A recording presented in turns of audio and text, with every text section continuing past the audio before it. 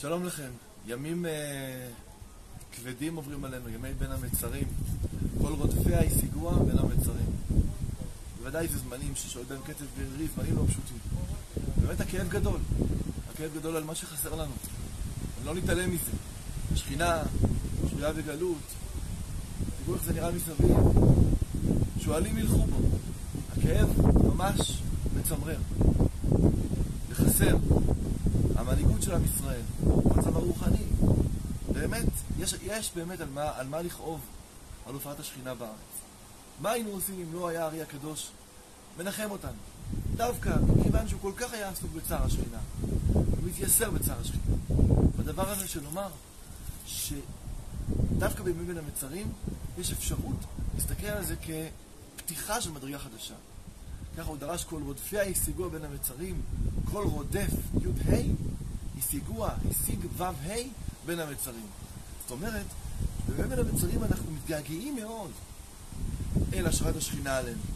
אנחנו מתגעגעים אל הי' וה', רודפים אחרי המדרגה של הקדוש ברוך הוא, אחרי הדבקות איתו, אחרי הקשר איתו. ולכן למה אנחנו זוכים? השיגוה, אנחנו משיגים את הו"ה, משיגים את ההשפעה, את ההמשכה של הקדוש ברוך הוא אלינו, שזה האותיות של ההמשכה ו' וה' עד אלינו ממש. ימים אה, לא פשוטים יכולים אה, להיות, לחוות אותם בשני רבדים. רובד אחד, זה, רובד אחד זה מה שאנחנו רואים בעין, שזה בוודאי כואב. ורובד אחר, שבו אנחנו באמת צריכים להתמחות, זה בשמירת העיניים. זאת אומרת, ולדעת שלא רק מה שאנחנו רואים בעיניים זה מה שקורה, אלא לדעת שהקדוש ברוך הוא מפתח אותנו כל שנה ושנה, וכל המתאבל על ירושלים זוכה ורואה בשמחתה. והימים האלה יהפכו להיות ימים טובים, כמו שאומר הבן איש חי, שבז' בתמוז זה יום טוב ראשון, ותשעה באב יום טוב אחרון, ובאמצע יכול המועד. לא רק שהימים הללו יתבטלו מלהיות ימי אבלות, אלא הם יהפכו להיות ימי שמחה, כי אנחנו נדע כשיבנה בית המקדש, שדווקא בימים האלה ובזכותם נבנה בית המקדש. מהדמעות הללו והציפייה הזו שלנו, מזה עשויות, הלבנים, שנבנה מהם בית המקדש.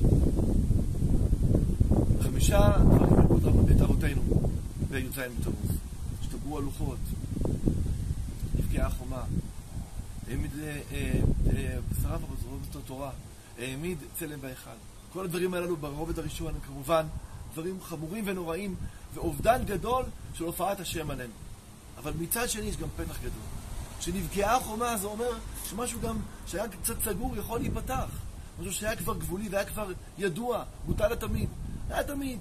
אבל זה שזה תמיד לפעמים זה רק החיסרון. אולי באמת זה צריך להיות קצת אחר ושונה. ואולי לזה הקדוש ברוך הוא מזמין אותנו כרגע בימים הללו.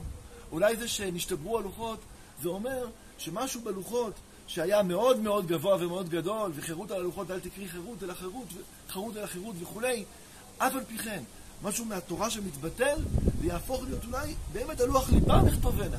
אולי זה מזמין אותנו לאיזה מדרגה יותר גבוהה שצריכה לבוא עלינו בימי בין המצרים. ולא סתם אמר אהרון הכהן לעם ישראל, חג להשם החג, שהוא אמר י"ז בתמוז, וצדוק הכהן מלובלין אומר, מה זה מחר לעתיד לבוא? לעתיד לבוא י"ז בתמוז, זאת אומרת, האובדן של המשהו הזה יהפוך להיות מיד משהו אחר. מן המיצר קראתיה, ענה לי במרחביה. מה זה המרחביה? קיי ו"ק. וזה מה שאנחנו צריכים לדעת, שבצר הרחבת לי, כמו שאומר רבי נחמן, שדווקא בצרה, בצר, הרחבת. לי לא רק כאשר הצרה תיגמר, אלא יש איזשהו רובד מסוים שעם ישראל מסוגל לחיות בתוכו, בתוך אחדות כזאת, שוודאי יש צר ויש כאב ויש תענית ויש אבלות, אבל יש גם בפנים איזשהו נבט שהולך וצומח ומחדש אותנו במשהו שעדיין לא היה. שני הדברים האלה קיימים ביחד, ולכן אנחנו כואבים, ואנחנו מצטערים, ואנחנו אבלים, אבל אנחנו לא עצובים, ואנחנו ודאי לא מיואשים. אנחנו לא מרגישים דחויים, אנחנו מרגישים הזדמנות גדולה בתוך הכאב הזה כדי לצמוח בו מחדש. דבר שנראה בעינינו, תשועת השם על עמו ונחלתו